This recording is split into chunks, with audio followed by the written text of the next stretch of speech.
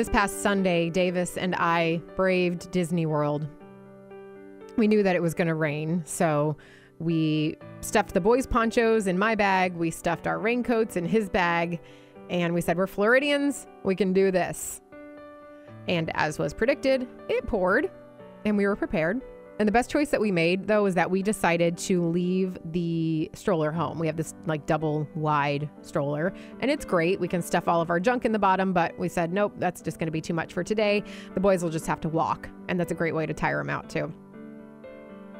The nice thing was, when the rain was coming down, it was much easier to navigate around the park. There was this one stretch of a covered walkway, and there were so many people like hunkering down under it and sitting on the ground. It was super frustrating, actually. We could hardly get through. But had we had that stroller, there's no way we would have fit through because there was only like two and a half, three feet of space to walk. I'm going somewhere with this. Stick around. In today's gospel reading, it's Matthew chapter 7, verse 13. It says, Enter through the narrow gate, for the gate is wide and the road broad that leads to destruction and those who enter through it are many. Jesus reminds the people that the wide path that allows us to do whatever we want, say whatever we want, believe whatever we want, that leads to death and destruction.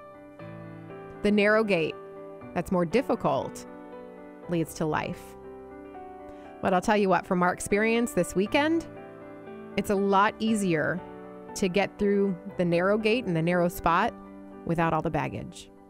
If we had had that double stroller, we would not have fit through. We would have had to, I don't know, go another way, fold it up, run people over practically. It's a lot easier to make choices that lead to eternal life when you don't have something holding you back, something like sin, unforgiveness, bitterness. So, what are you carrying? That's putting up a wall that's keeping that grace from flowing to you, that grace that allows you to make choices every day that turn you closer, turn your heart closer to Jesus.